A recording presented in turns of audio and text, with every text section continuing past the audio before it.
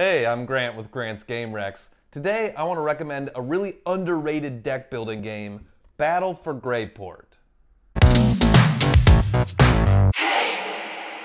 One of my favorite games of all time is the Red Dragon Inn. I made a video for it several months ago. But the reason I like this game is because of the theme.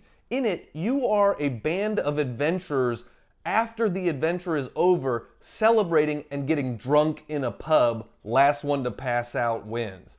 Battle for Greyport is the prequel to this game. Where Red Dragon Inn is the getting drunk after the adventure, Battle for Greyport is the actual adventure.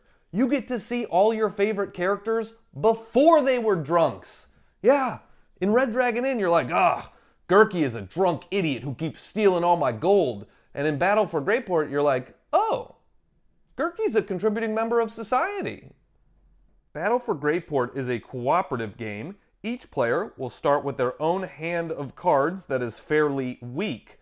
Each player will also have a number of hit points and monsters in front of them they need to defeat. There are also monsters in front of locations. We need to defeat these monsters to save locations, and throughout the game, you will be able to upgrade your hand with better heroes and items. Battle for Greyport comes with seven different scenarios ranging from easy to very difficult. So, if you want it to be a drinking game like Red Dragon Inn, just play an easy scenario. You can get drunk along the way. Then play a hard scenario and you'll be like, I gotta stop drinking.